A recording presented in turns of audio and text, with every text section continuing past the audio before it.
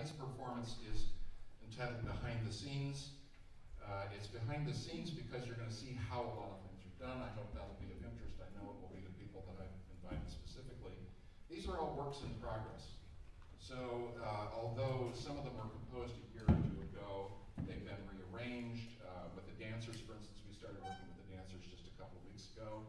And these collaborations, and collaboration really is what we're doing here. With these collaborations, a lot of stuff that gets done in the run-up to the performance. So these performance or works in progress, we really want to hear your feedback, and that's why we'll hand out feedback cards later on.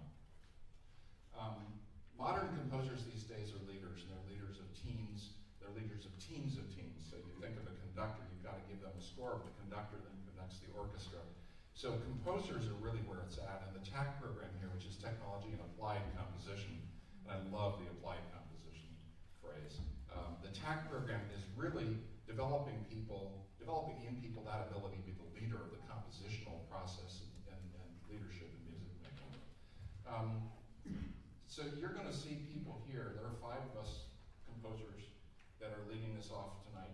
Four of us have completed the Professional Studies Diploma, which is a one-year program. It's intensive. You spend 60 or more hours a week working on things, mostly on this level of the conservatory.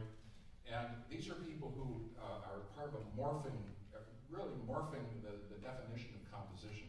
These are people who are comfortable writing melody and harmony, writing with sam sampled or synthesized instruments, selecting and rigging microphones, recording a dozen tracks into Pro Tools software, mixing the tracks, producing a finished recording, working the film, working with directors, working with, with choreographers. So you're going to see a lot of that composition. You can find this online. The TAC program is online at sfcm.edu slash TAC, T-A-C.